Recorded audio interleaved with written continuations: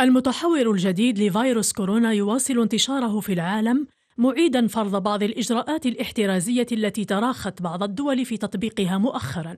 وكالة الأمن الصحي في بريطانيا قالت إن ارتفاع عدد الإصابات بالمتحور الجديد وصل إلى 104 حالات حيث زاد بأكثر من الضعف.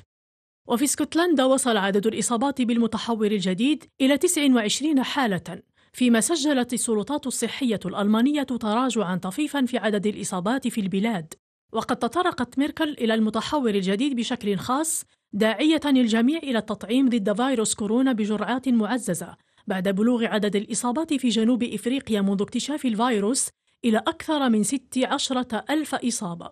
في الأثناء يتسارع الإعلان عن تدابير صارمة لمحاربة هذه الموجة في كل أنحاء العالم فضلا عن التطعيم. فالخبراء يعتبرون أن جرعة إضافية من اللقاح قد تكون ضرورية للحماية من متحور أوميكرون. وكشف وزير الصحة الفرنسي أن عشرة ملايين من مواطنيه فوق الثامنة عشر سنة تلقوا جرعة معززة من اللقاح المضاد لفيروس كورونا. وستصبح الشهادة الصحية غير صالحة لمن لم يتلقوا الجرعة المعززة اعتبارا من الخامس عشر جونفي. في حين لم تتلقى منظمة الصحة العالمية أي معلومات بخصوص وفيات محتملة جراء المتحور الجديد أوميكرون حتى الآن.